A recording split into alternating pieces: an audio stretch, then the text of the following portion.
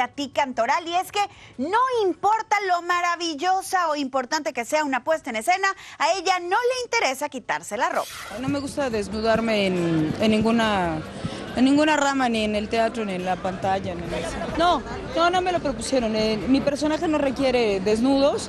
Sí voy a tener escenas fuertes, porque también el personaje requiere, tengo escenas eróticas, pero no, no se va a ver nada que no se pueda ver. ¡Qué sorpresa! Pues ahora cambia de televisora, ¿será que la vetaron? No, no, no, no estoy vetada de la empresa Televisa. Hablé con los ejecutivos, evidentemente.